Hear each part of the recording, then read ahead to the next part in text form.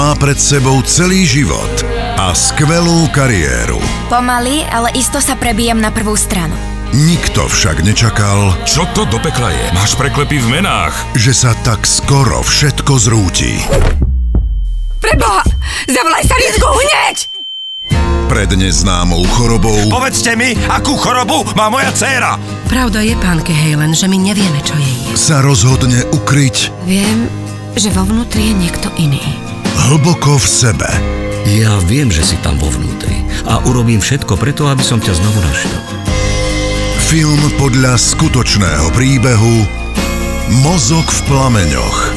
V stredu o 20.25 na Pluske.